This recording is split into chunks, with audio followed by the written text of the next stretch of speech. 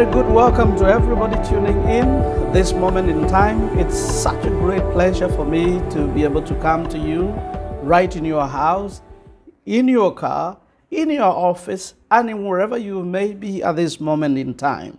It gives me joy always when we are able to connect in this medium of communication. And what a wonderful thing God has given unto us that we can be able to relay His word by way of online media or by way of online preaching. I am so, so excited.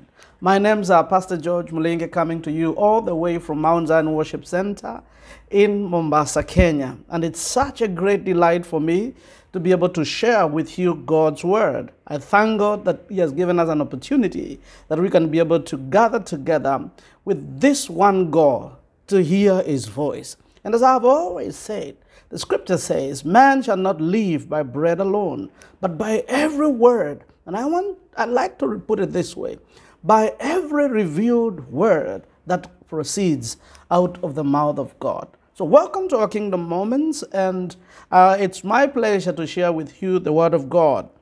We started quite a while ago looking into this subject, the subject of Lord, teach us to pray.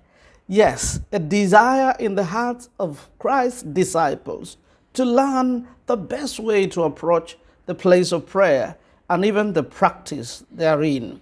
And therefore, after bringing this to Jesus, Jesus took them to what we would call the uh, popular sermon delivered on the mount or the sermon on the mount.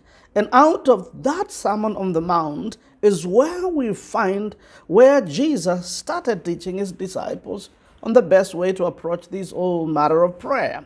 And we've covered a considerable amount of ground from the time we began looking at the purpose for prayer. And the purpose, the first time prayer is mentioned in the Bible, and how it resonates with that which Jesus started speaking about prayer in the book of Matthew.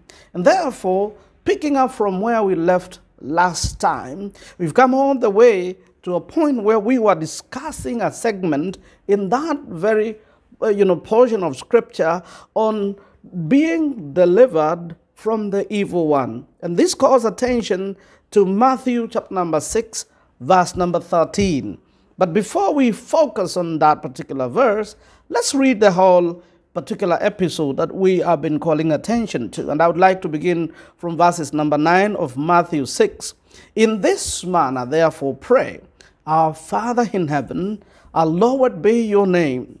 Your kingdom come, your will be done on earth as it is in heaven. Give us this day our daily bread, and forgive us our debts as we forgive our debtors. Verse number 13, which is our focus today. And do not lead us into temptation, but deliver us from the evil one. For yours is the kingdom, the power, and the glory forever. We looking at the fifth part of deliver us from the evil one. Let's pray.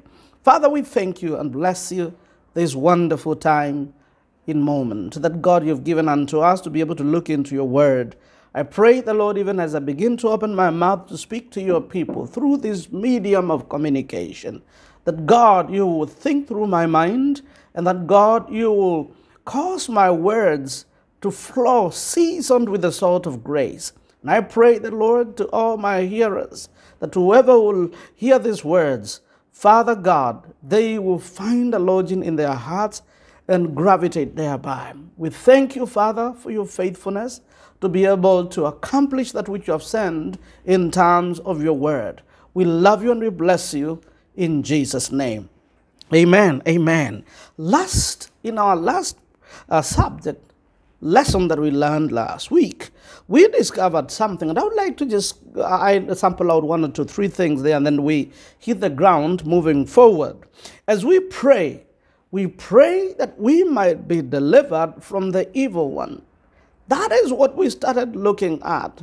You know, we stand in that place of prayer, desiring that we'll be delivered from the evil one, as Jesus taught us to pray. It says, pray that you are not led into temptation, and also pray that God delivers from the evil one. Hallelujah. So, in that respect, we, re- we realized the essence of actualizing this whole thing about being delivered from the evil one is closely connected to our submission to God, submitting to the, to the word of God, and a proper engagement with his word.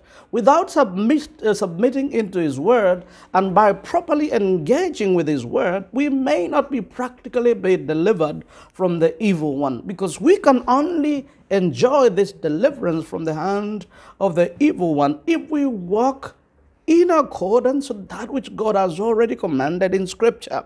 And therefore, a submission to the Word of God, we realize, uh, we realize that God gives grace to the humble, or when we learn how to humble ourselves to God, then God will make available that grace that is needed to submit so that the enemies of our soul, those who put us into temptation, or those who deliver us to the evil one, when they find that we have sufficient grace to take us through this, we realize we are able to enjoy that deliverance. And on the other part, the Bible says God resists the proud. He resists the proud, but gives more grace to the humble. And therefore, submit to God, resist the devil, and he will flee from you. That is what we found in James 4 6.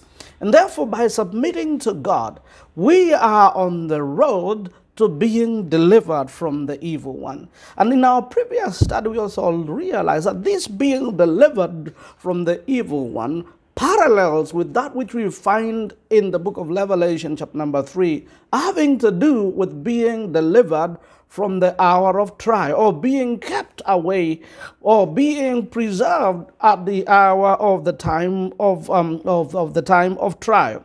And this is a time that always will be with us. And in the end, in the tail end, it will be with us at the judgment seat of Christ, when every man's work shall be made manifest and tried in the presence of God.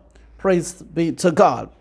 So, by a submission to the Word of God, or by practicing how to submit ourselves to the Word of God and properly engaging therein, we realize that brings by itself such a freedom at the hour of trial or when the evil one comes in and God uses that which has done in our lives to bring about this deliverance.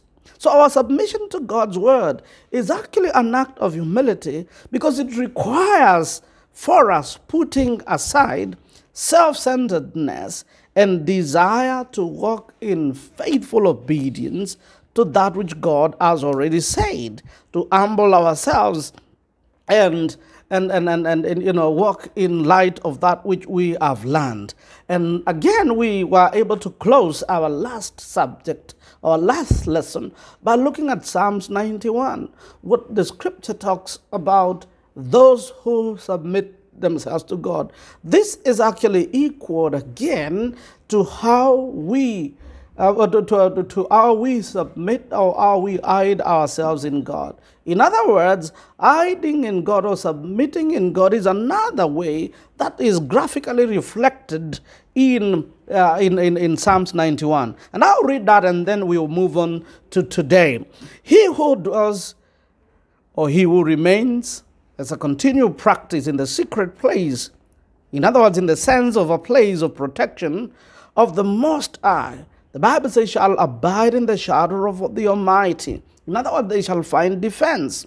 I will say of the Lord, that is verse number two, He is my refuge and my fortress, my God, in Him I will trust. Surely, and this is where we, we focus on our subject matter. Surely he shall deliver you from the snare of the fowler and from the perilous pestilence. He shall cover you with his feathers, and under his wings you shall take refuge. His truth shall be your shield and buckler. Listen to that. Hiding under the wings of the Most High, and also hiding the place of his shadow ensures that we enjoy deliverance from the hand of the evil one. If only we can discover the secret of walking with God and walking in faithful obedience to that which He has already commanded in His word, we will, in extension, uh, by, by, by extent, be able to understand the exact blessing that comes by way of walking in that obedience. And therefore, today, moving forward, I would like to carry that thought, and probably we'll finish this today. Hallelujah.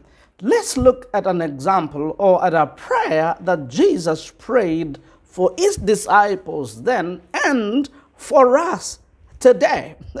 Look at that. He prayed for his disciples at that time and by extension spread out or extended that prayer to us. And I want to thank God that we are, as we walk in faithful obedience to God's word, we are covered in this prayer cover.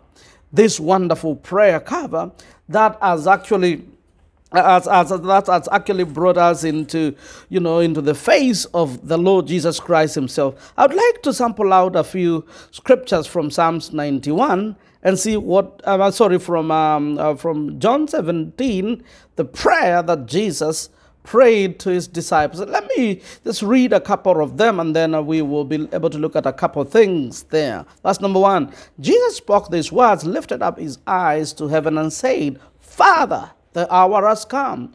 Glorify your Son, that your Son also may glorify you, as you have given him authority over all flesh, that he should give eternal life to as many as you have given him. Hallelujah. This is eternal life, that they may know you, the only true God, and Jesus Christ, whom you have sent. I have glorified you on earth. I have finished the work which you have given to do. And now, O Father, glorify me together with yourself with the glory which I had with you before the world was. I have manifested your name to them, to the man whom you, you have given me out of the world. They were yours. You gave them to me, and they have kept your word. Now they have known that all things which you have given me are from you. For I have given to them the words which you have given me, and they have received them, and have known surely that I came from you, and they have believed that you sent me. Now listen to this now. I pray for them, and that's why I said, the Lord prayed for them. I prayed for them and prayed to us by extension. I pray for them. I do not pray for the world, but for those whom you have given me, for they are yours. He doesn't pray for the world, but he prays only for those whom God gave him. And those whom God gave him are you and me and his disciples. And all mine are yours, and yours are mine, and I am glorified in them. Now I am no longer in the world, but these are in the world, and I come to you. Holy Father, keep through your name those whom you have given me, that they may be one as we are one. While I was with them in the world, I kept them in your name. Those whom you gave me, I have kept them, and none of them is lost except the son of perdition, that the scripture must be, must be fulfilled. But now I come to you, and these things I speak in the world, but they may have that they may have joy fulfilled in themselves. I have given them your word, and the word and the world has hated them because they um, are not of this the world just as I am not of the world. I do not pray that you should take them out of the world, but that you should keep them from the evil one. Yes, this is the same thing we find in the prayer that is in focus. Deliver us from the evil one. And then the next segment of the prayer he said, They are not of the world, just as I am not of the world. Sanctify, sanctify them by your truth. your word is truth. Now, having looked at that prayer, of course, we can read through the entire prayer, but I just wanted us to focus on that particular part which the Lord took, upon himself to pray for his disciples, that they may be kept at the time or at the hour of trial, or from the evil one. I think that's really very important. So he's not telling us to do, he's not telling his disciples to do something that he has not done for them. And of course, we have seen in that explanation of that prayer that he, Jesus himself talked about being in a world that has all these evils. And therefore, even though he was in the world and by extension, even though we could be in the world, just as he was and as we are, we are not of this world. That should be a truth that will sink in us. But in this world, it must be clearly understood that we have an enemy, an enemy and the enemy of our souls. That's why Jesus prayed. Now, the whole prayer let me put it this way of John 17. It's something that I would like to encourage you to go back and study. Hallelujah. But let's concentrate on a few uh, things or a few factors from that very prayer. Hallelujah. There is that statement that we find Christ saying that I do not pray for this alone. At that time when he was standing with the disciples making that prayer, of course, his, direct, his hand and his focus was basically on them. But he said that I am not only praying for this alone, but also for those who will believe in me through your word. And therefore, you and me are a product of those who have believed in Christ through his word. We have never seen him, we have never been with him, but we believe his word we feel His presence in us because the Word of God has been assimilated, has been put into, or has been written into our hearts. That's why we have Him in our hearts. But ideally, we have never been with Him physically. And therefore, that prayer resonates with us that He prayed even for us who would in the future believe in His Word. Thank God that we have the coverage of the prayer of Jesus in our lives. Hallelujah. And therefore, we will see that the overall focus of this prayer is actually looked or uh, uh, geared towards a time yet future, the age to come, that period of the kingdom time. And that's why he says, Father, I desire that they also, whom you gave me, may be with me where I am, that they may behold my glory which you gave me. He desires that they may be with him in the place of glory, that they may enjoy the glory together.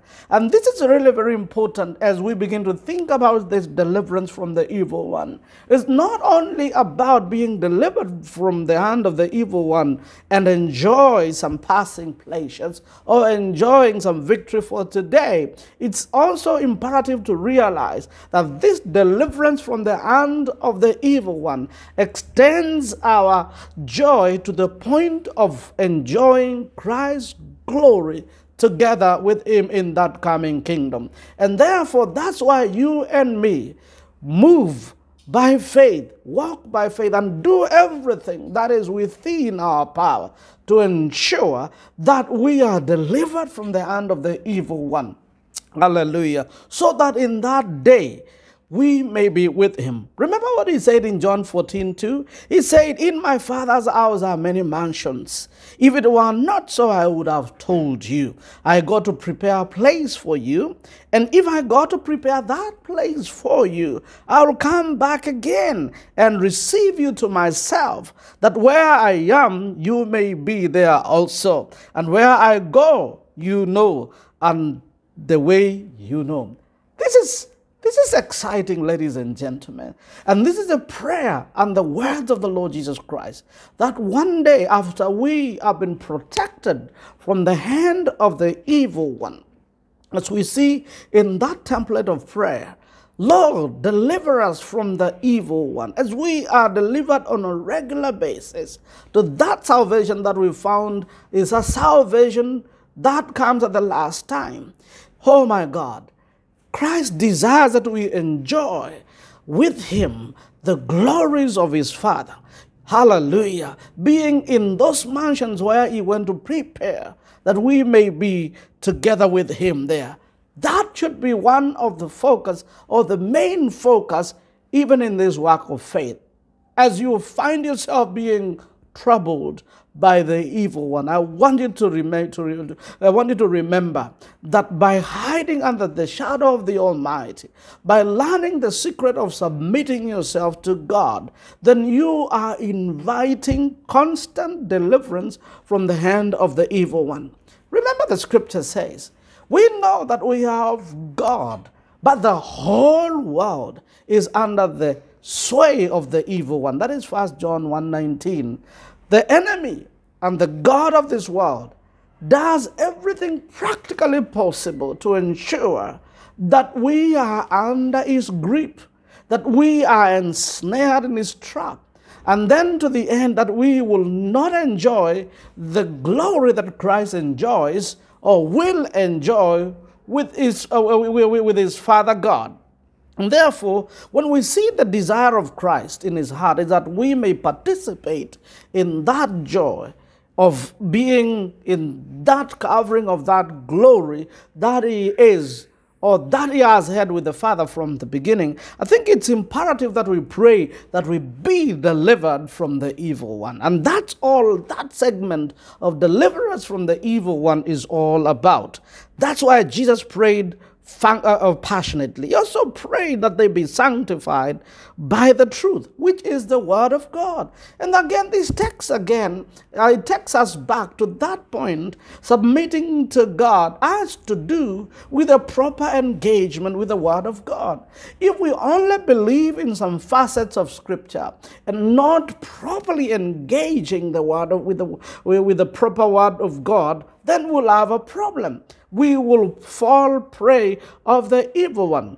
And I remember last Wednesday I talked to you and gave you the example of the Lord Jesus Christ in the hour of trial, in that particular time of temptation, in the hands of the evil one. And in Matthew chapter number 4, Christ would always you know, respond. That is written, it is written, it is written, it's written. And as the enemy kept on tormenting him, going back and forth and coming back and forth, finally the enemy got tired of the Lord Jesus because the Bible says he did this for a time and left. Let me tell you something. If you properly engage with the Word of God and walk in submission, the grip of the enemy will not stay the enemy will only try to terrorize you for some time, but he will leave because the presence of God is stronger than the power of the evil one. Praise be to God. And therefore, this is really very important for us to look into and to be able to understand. As I finish this thought, I want to bring in that part in John 17 14 to 15. This is what the scripture uh, says as I remind you. Something to notice here. I have given them your word, and the world has hated them because they are not of the world, just as I am not of the world. I do not pray that you should take them out of the world, but that you should keep them from the evil one. That has been my goal. God doesn't want you to be out of this world before your time, but Jesus prayed that you be kept from the evil one while you are here. Praise the name of Jesus. And this is really very important for us. And therefore, we need to pray that God continues to work in us. Then, the second thing that I would like us to look into tonight is, or this particular time, is that we do not have to give access to the enemy. If we don't give access to the enemy, then we will be protected at the time or from the hand of the evil one. Remember, the first point has been that Jesus has already prayed for us. So we enjoy a prayer cover. We enjoy a prayer you know, a pristine covering of the Lord's Prayer that He prayed for us at the moment of attack, or the moment that the evil one manifests uh, on our side. We should always realize that when the enemy shall come in like a flood, the scripture says God will lift up a standard against him. So at the time of trial, the time of your test, when the end of the evil one is manifested, please understand God will never leave you, He will never forsake you. Hallelujah. Even when you go through the shadow of death, or through the valley of the shadow of death, you shouldn't fear any evil because God will also always be with you. And then focusing on this second thing, don't give access to the enemy. We don't give any access to the enemy if we will be delivered from the evil one. Praise the name of Jesus. Hallelujah. And this takes me to a scripture in John 14 30. The Bible says, I will no longer talk much with you for the ruler of this world coming, but he has nothing in me. Now, that is talking about Jesus. For the Lord Jesus Christ to stand in that ability to be able to pray a prevailing prayer for us is because the enemy has nothing to do with him. Praise the name of Jesus. He recognizes Satan as a ruler of this world, but they are not equal.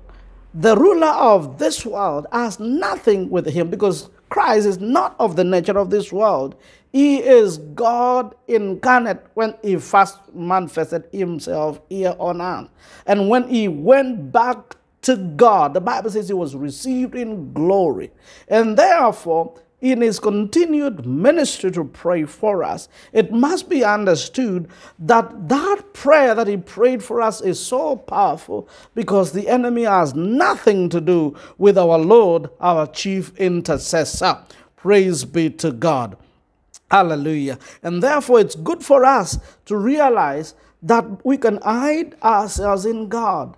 And by hiding in God, submitting ourselves to God, and by properly engaging ourselves with the Word of God, we find safety. Remember, the scripture says in Psalms 46, verse number 1, that God is our refuge and a very present help at the time of trouble. He is our uh, your refuge and strength and a very present help at the time of the hand of the evil one manifested in our lives. So our only place of safety is in God.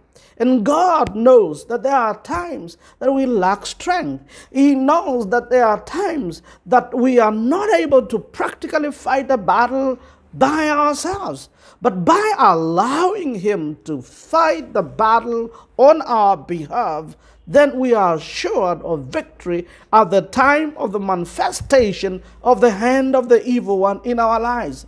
And let me tell you, ladies and gentlemen, the hand of the evil one will always show up when you have committed yourself to work with God.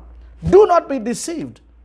It started with Adam and Eve in the garden when the enemy saw that the Adam and Eve were enjoying that pristine covering of glory in the garden, and they were walking in obedience with the word of God. The enemy of their souls crept in and trying to put them into a point of deception. And therefore, you too and me as well, as we walk in this journey of faith, faithfully obeying God, I want you to know that the enemy of our souls who always would want to manifest himself in a way that would completely derail us from the vision. And therefore, it's imperative that we understand that the evil one will not sit there and enjoy when we are taking our walk of faith with God. No, he will not sit there and enjoy when he sees you moving from victory upon victory. No, it will not work. There will be attempts, there will be the works of the evil one being leveled against you. And therefore, it's important for us to understand that we don't give him access into our lives. We seal every loophole, every space he can penetrate and damage our relationship and bring ruins and chaos in our lives. Hallelujah. We don't just sit there and say, Oh, you know what? Jesus prayed for me. Oh, you know what? I'll be delivered from evil. No, you do your part. You do your part. Praise the name of the Lord. Walk in faithful obedience into the word of what God said. Romans 6 Verse number 10 For the death that he died, he died to sin once for all. But the life that he lives, he lives it for God. Likewise, you also Reckon yourselves to be dead indeed to sin, but alive to God in Christ Jesus our Lord. Therefore, do not let sin reign over you. You got to do something about it. If you be delivered from the hand of the evil one, the Bible says, verse number 12, therefore, do not let it's your responsibility. Do not let sin reign in your moral body, that you should obey it in its lust.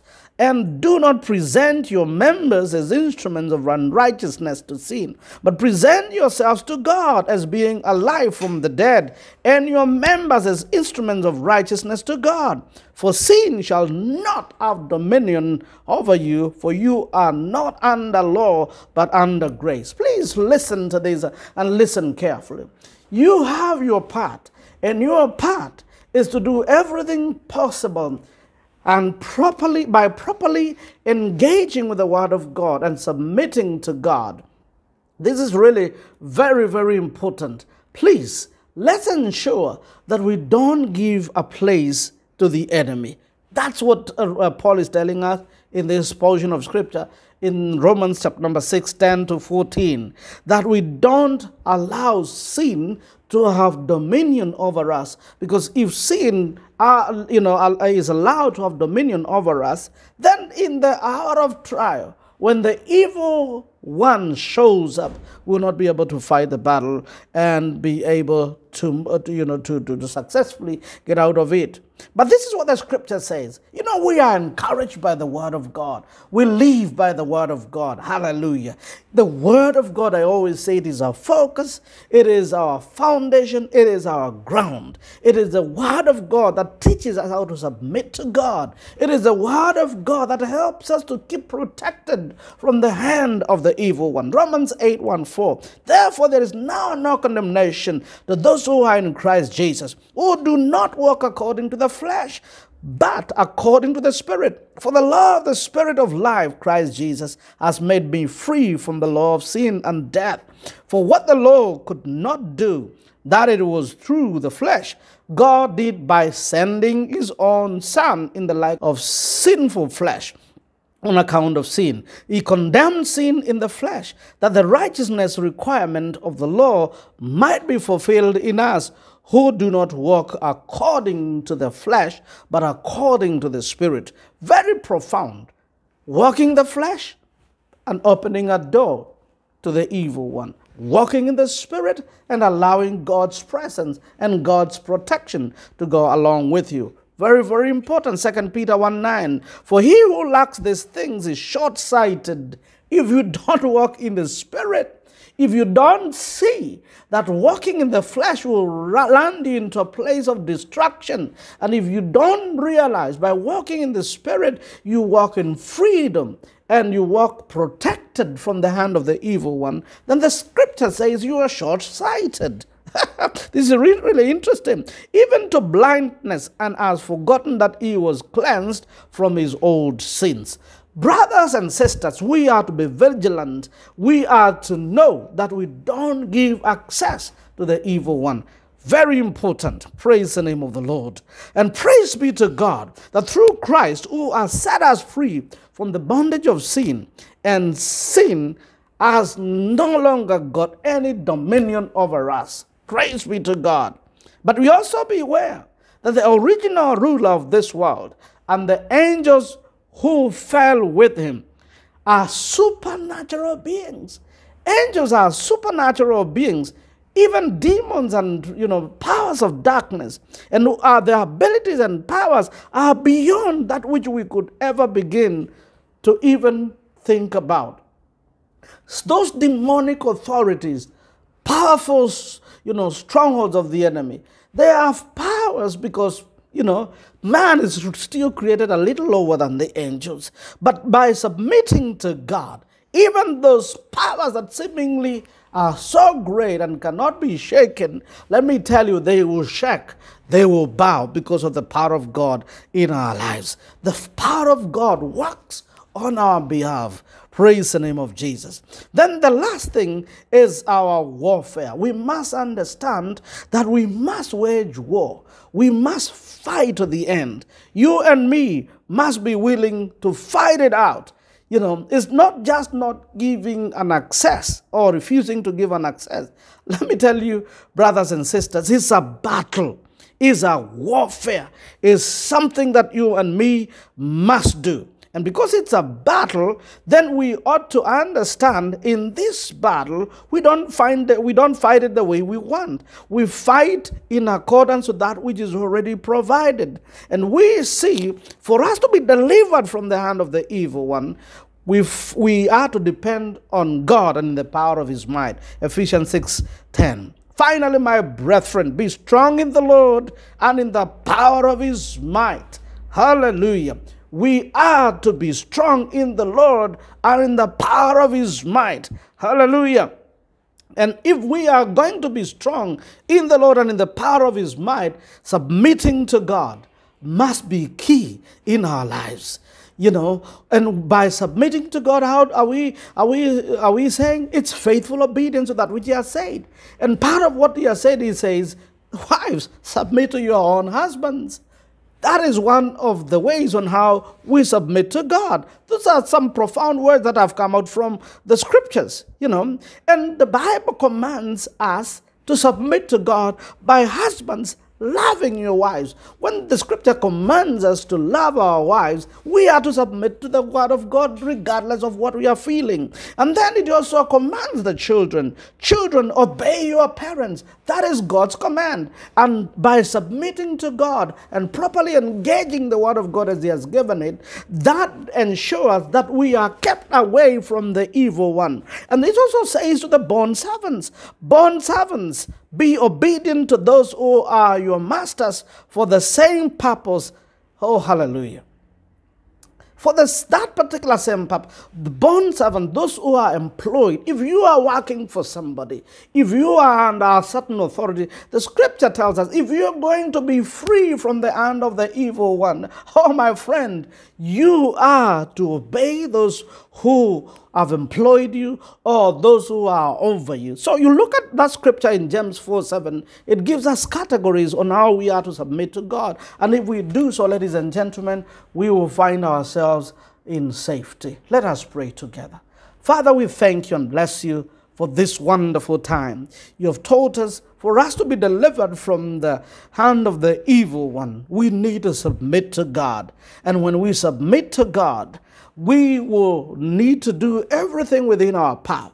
But the joy is that Christ, you already prayed for us that we be protected during the time of attack. And we thank you, the Lord Jesus Christ, that you did not also pray for us that time you did only uh, did, you did not only pray for us that time you continue praying for us interceding for us that we may win this battle we want to thank you lord jesus for having with us in mind even before time thank you Thank you for doing this. Lord, our responsibility is to ensure that we don't give any access to the evil one. Lord, bring us an understanding through your word. Open our minds that God, we may understand that we are engaged in a spiritual battle and fighting spiritually embodied persons that we cannot be able to see, who are mightier than ourselves. And our only refuge is by engaging properly with the word of God and submitting to God in the manner that God you have told us to. I pray for husbands. I pray for wives.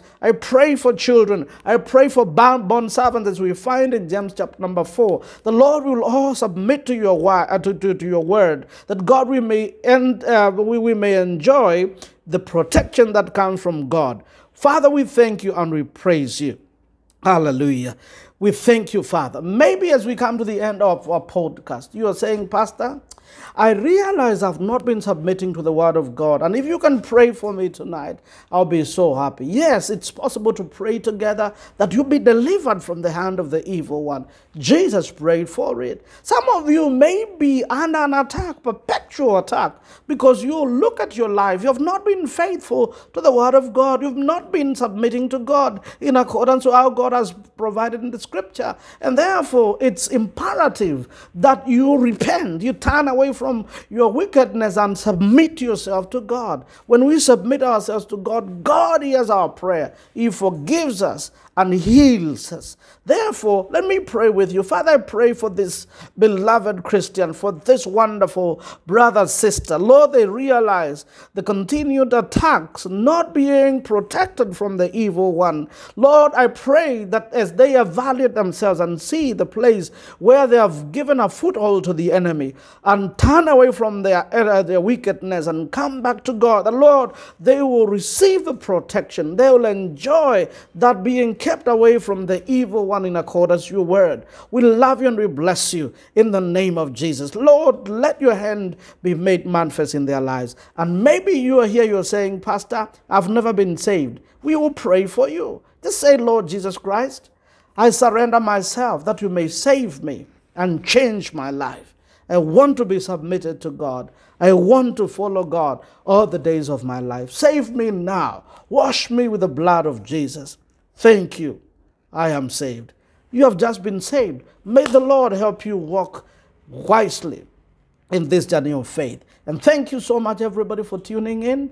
Before we go, we normally give our offerings and respond to God by way of saying thank you through our tithes and our offerings.